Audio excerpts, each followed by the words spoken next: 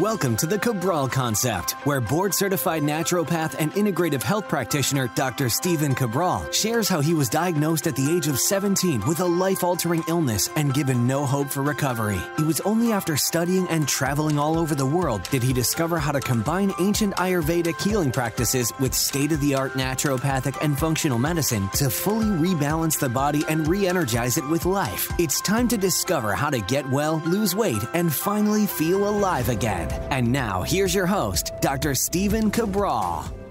Hi, everyone, and welcome back to the show. We are here today on our Mindset and Motivation Monday, where my goal for you is to begin to be able to become inspired in a new way. And what I mean by that is this is that motivation is great. There's no doubt about it. It allows us to get up and maybe at least for a couple minutes or a couple hours get into the work that we know that we need to do in order to move forward in our life. But inspiration is a little bit different. Inspiration is looking at the bigger picture. It's understanding that motivation is great for the few minutes or few hours that you can push through with your willpower. But what is it that inspires you to go on and lead a greater life? And by that, I mean this it's wherever you are right now, it's being able to up level that. So it's looking at your relationships and saying, where is it right now that I'm able to improve in my relationships, whether it be with your parents, your siblings, your friends, your coworkers, or your partner, your spouse? I had an amazing conversation uh, not too far back, just about a week or so, with Terry Real. Hopefully, you tuned into that conversations with Cabral. But what I did was I actually spoke with him about beginning to look at you and your partner as something that's different from just you and that other person, from two separate entities as one unit, one relationship.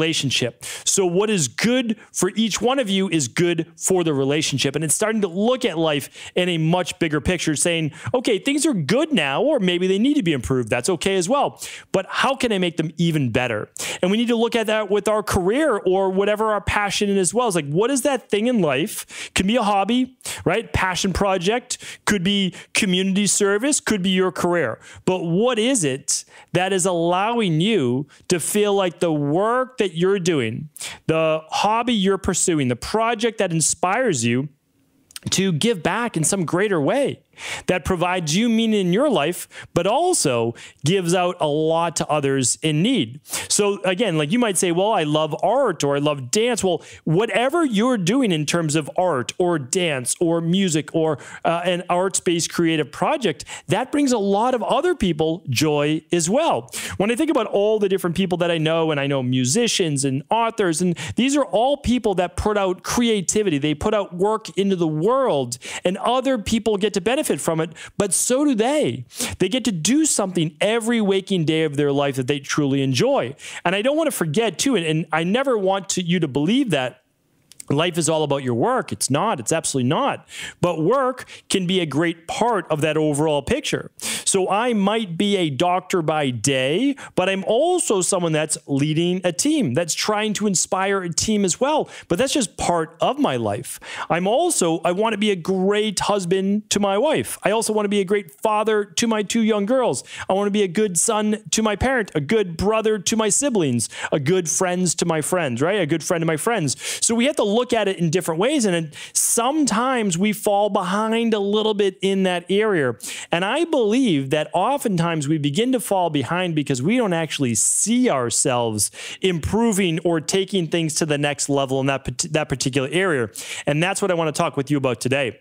Because sometimes we can say the right words, right? We can start to create the goals that we want to have, but we don't actually really believe. And so what we do is we let those slide. And I I've definitely done that myself. I'll definitely share some examples with you. But we have to understand this is that sometimes, you know, we want something, but we put it off. And I'm just trying to think like, have you done anything in your life like that before as well?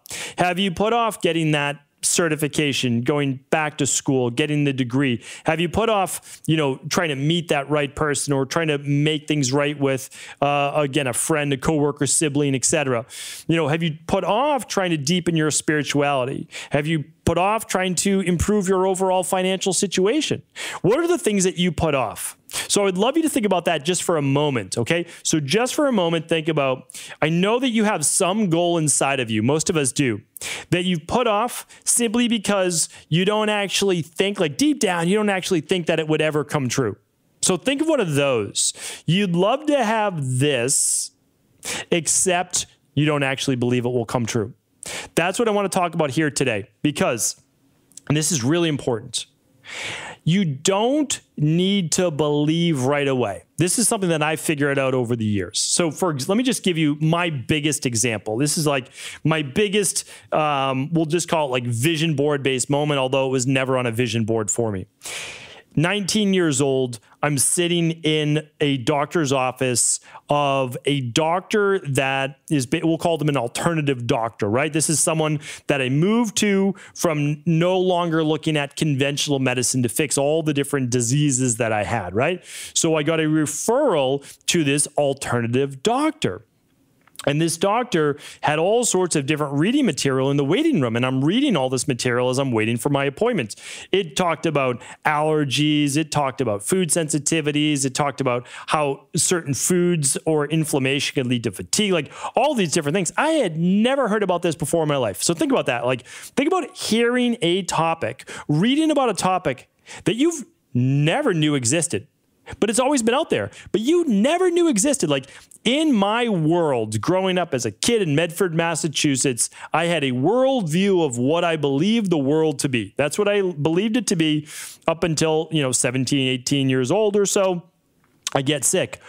All of a sudden, through different avenues that I went down trying to explore how I could get better, all of a sudden I figure out, oh, there are food sensitivities, there's gut overgrowth, there's overdoing it in life, like all those different things. I mean, like maybe you shouldn't simultaneously be playing you know, doing three sports during high school, studying for your SATs, trying to get good grades, uh, you know, be in relationships, hang out with your friends, work a job, uh, do martial arts in the evening. Like, no one ever said, like, that might be too much, right? And so, you know, and the truth is this again, like we all have to go through these things. I know my story isn't unique. The way that I learned is obviously sometimes through doing things the wrong way. But all of a sudden, then I find out, oh, there's information on this topic.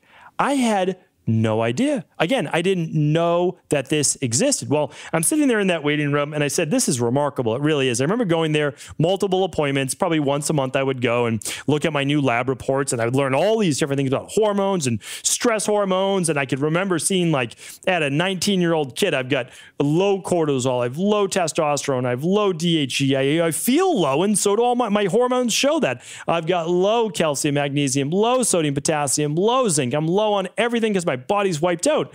And this is just such a great education. So, although I don't feel well and it's not a quick fix, I realize there might be a way out of this. And I start to envision myself sitting in that waiting room saying, wouldn't it be remarkable one day, maybe one day, if I were to be able to open up a wellness center just like this? And I didn't realize it at the time. I'm just saying that. But I mean, again, 19 year old kid. I'm an undergrad at the time. You know, didn't know anybody that was a doctor. Certainly didn't know anybody that studied natural health, that's for sure. And just through a series of events, not really keeping that in the forefront of my mind, but just saying, like, hey, wouldn't that be amazing? Didn't know it, but what, 15 years later or so, maybe not quite 15 years, I opened my own wellness based, functional medicine based practice. Not only like that, but actually, I would say to even that next level that included Ayurvedic based practices and treatments in there, a personal training based center, uh, nutritionists on staff, a full fledged uh, nutritional supplement protocols. I mean, functional medicine diagnostics, you name it, like the whole, the whole works. And yet at that time, I had no idea how that would ever occur.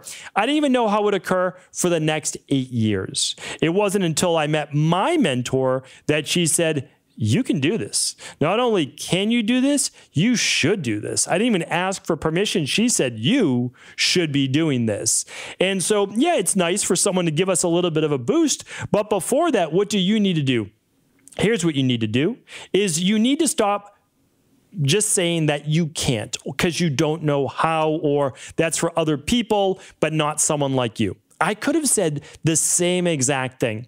I have no, you know, I really have no unique qualities that another human does not have that they wouldn't be able to achieve something that meant something to them. I'm giving you an example just of something that means something to me. But we all have things that mean something to us in some way. And again, it might be relationship, it might be financial, it might be your passion project, it could be uh, overall spirituality, it could be weight loss, it could be your health based issue that you were dealing with.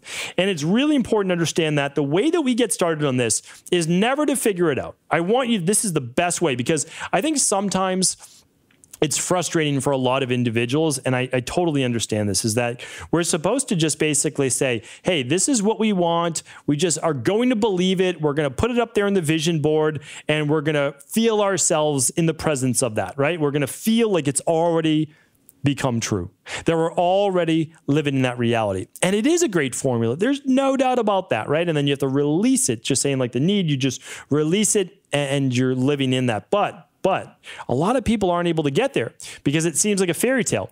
And if inside of your subconscious saying, yeah, but that's that's just a fairy tale, then it isn't going to become true because you aren't one with it.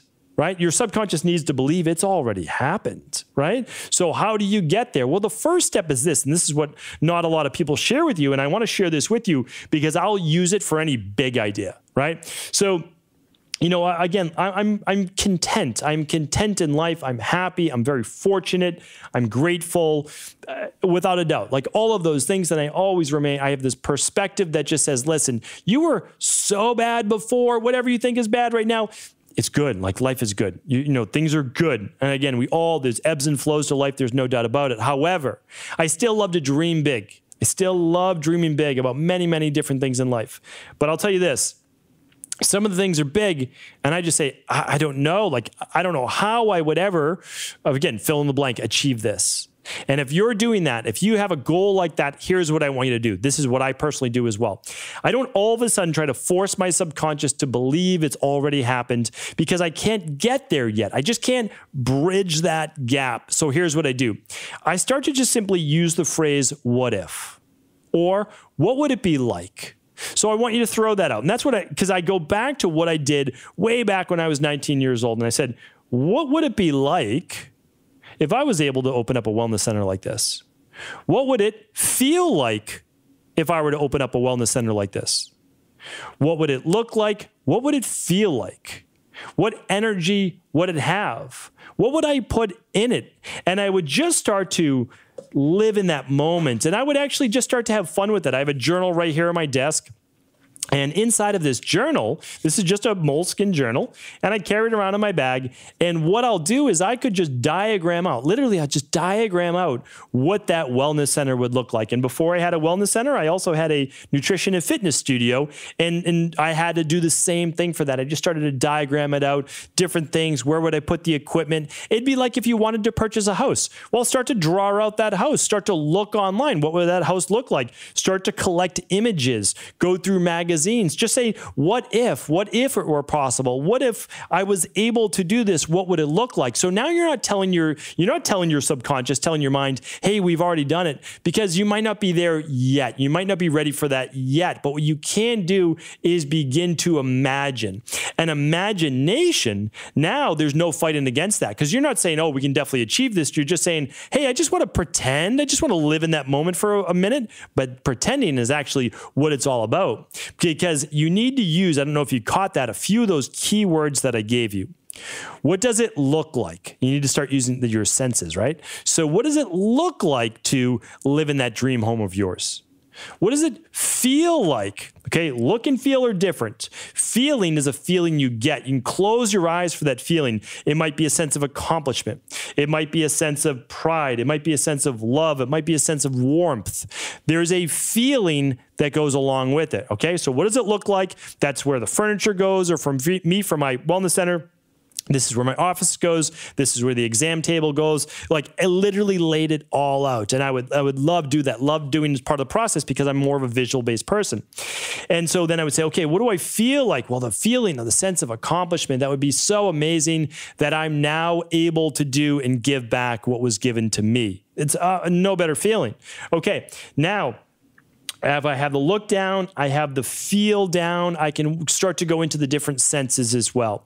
Can't exactly do the taste, but I can certainly do the smell and the aromatherapy. And for you, it might be like, well, I want a house um, off the street, away from the street, with all pine trees around, and you smell the fresh pine. You know, whatever it might be. Start to get again more of those senses in there. What would you hear? For me, it was just that running water inside of the functional medicine uh, practice that I had, and it was basically I had this beautiful, beautiful beautiful big copper bowl uh, that I got from overseas when I was in India, and I put water in it and I laid uh, lotus basically flowers across the top. Something that I saw actually, it wasn't in India, it was in Sri Lanka at an uh, Ayurvedic clinic that I was at and I mimicked that. And behind it, I put the water sound. It was this serene uh, hallway that you walk down to go to your different treatment rooms. And so I absolutely love that, you know, as well. But that was just part of the process. So what I'm asking you to do right now is think of one goal, not a million goals. I need you to focus on only one because it's hard enough getting your mind to believe in one. You can accomplish them all,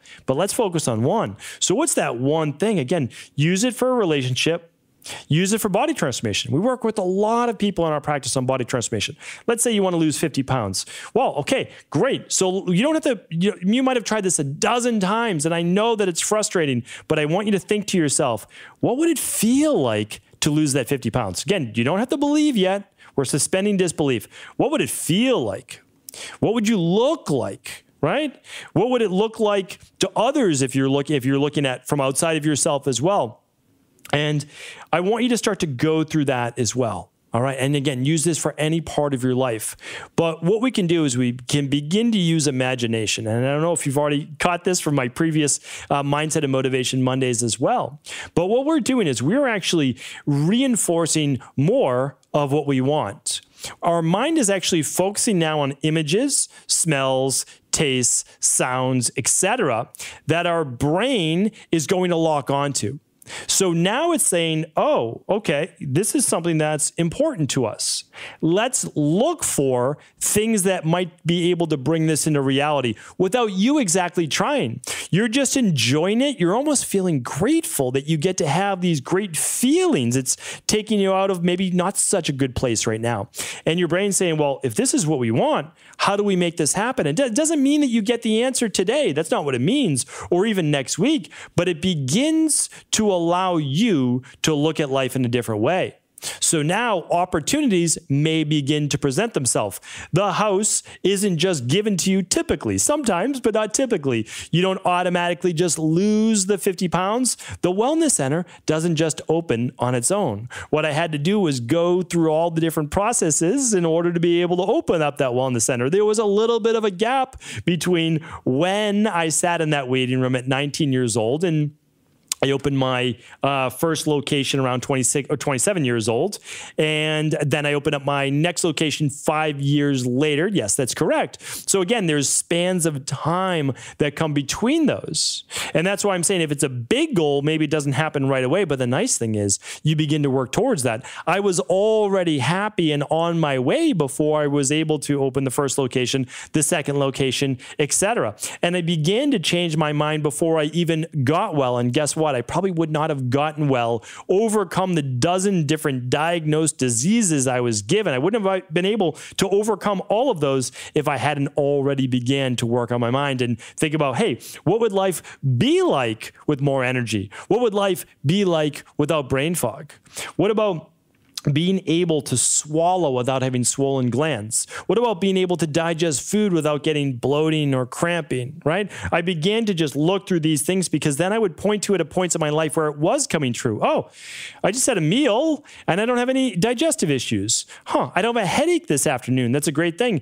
It didn't take me three hours to fall asleep last night. Look at that. I'm on my way. And sure, I'd have ups and downs and I'd have relapses, but I could then begin to focus on the more more of it was that I wanted because some of those things were starting to come true. So I would, of course, do more of it. And that's really what we need to look at is that it's not always possible to believe that you can achieve something that you've never had before. Now, you can. That's the crazy thing. You absolutely can achieve it, but it's difficult for your conscious mind to get there. It's challenging. It really is. So, what do we need to do? Let's bridge the gap. That's all that I'm asking you and have a little fun with it. Give yourself 20 minutes of free time. You deserve 20 minutes of free time. I love being able to do this in the morning. I love being able to do it sometimes at lunch and then sometimes uh, when my kids are in bed as well. But oftentimes I wake up on the weekend and it's kind of like I don't have work that day. I'm already up before my family. I don't even need to get like showered ready for the day right away if I don't want to. I can actually go upstairs. I can start to um, journal and think about and visualize and just enjoy the morning. Just enjoy the quiet time of going through the different exercises of, huh, what would that look like? What would that sound like? What would that smell like, right? How would I feel? And I can just have fun with the process. I'm telling you, there's absolutely no downside to exercises like this. And I think you'll find this that the more you begin to do these exercises, the more you begin to dream, the more you do believe right? Because you say, well, you know what? That's not so wild because I'm looking through these books, I'm looking online, I'm finding the images, I'm finding the people, they've done it. Well, how did they do it? Oh, look at their background story. It's not that much different than mine. Maybe I could do it too. You don't totally believe yet, but you're moving in that direction. The more you dream, the more you begin to believe. It is absolutely worth it. And I do hope that you're able to take some of this advice here today. You begin to live that overall happier and healthy lifestyle that you've been searching for. So thank you so much. And of course, if today's show was helpful, please do feel free to share this show with anyone you believe it could serve. Thank you so much for tuning into today's show. And I have something exciting to share with you. Every quarter, just like every single natural health method and modality has taught, we do a functional medicine detox. We do a seasonal detox. So, whether you're studying Ayurvedic medicine, bioregulatory medicine, orthomolecular, any of the natural health modalities, you learn that the body needs to always be going through a subtractive process in order to maintain health health. That means we need to take out the toxins, take out the bad, and rest the body for a period of time without always adding more, adding more, adding more. So, what we do is we actually blend ancient Ayurvedic principles with state of the art orthomolecular and functional medicine. And that is with our quarterly functional medicine detox. Every single quarter, every 12 weeks with the seasons, we have thousands of people from around the world join us for this functional medicine detox. I've been doing this now for over a decade in my private practice, and I can tell you this it is the number one thing that I do for myself to work on that aging based process and everyone in our private practice. And that is because it looks at your body from a holistic standpoint. It is a whole body reset. It doesn't say, oh, go work on autoimmune diseases, go work on blood sugar. No, it actually works on the body from a systemic level. It's working on balancing healthy levels of hormones, healthy levels of inflammation, healthy levels of estrogen dominance, or healthy levels of blood sugar levels. And what it's doing is it's actually going in and scavenging all sorts of bacteria and things that should not be there in your body during that period of rest. And again, it's very scientifically proven and by the book to increase what's called autophagy. It's this cleaning process of the body. It actually is so profound. In 2016, I wrote about this in my book, it won the Nobel Prize in medicine, and that's in oncology and cancer based work through this process of specific fasting, which we use in this functional medicine detox. So I could go on and on. If you don't know anything about a functional medicine detox, I've actually created a completely free course for you, and that's at equi.life. That's E Q U I dot L I F E forward slash detox dash course. And this week, if you purchase a functional medicine detox and join us April 5th, now, you could do yours before or after, that's okay. But we'll be doing it the week of April 5th. And this is our spring detox. Anyone that purchases a functional medicine detox over at Equi Life, we are going to give you a complimentary bottle of our gluten and dairy support. This is a specific enzyme that can be used with uh, not just gluten and wheat based meals or dairy to help you digest those particular products better, but also used with beans and other vegan based proteins. It's phenomenal at helping to digest those as well. So, this is completely free, a $39.95 value, yours free with any purchase of our 7, 14, or 21 day detox. For anyone, if this is your first functional medicine detox and there are health issues that you do want to work on, or you're looking to lose weight the healthy way, I can't recommend enough that 21 day detox to start. It can be absolutely life changing. I look forward to joining you myself April 5th. And of course, while supplies last, grab your free gluten and dairy support enzyme at equi.life.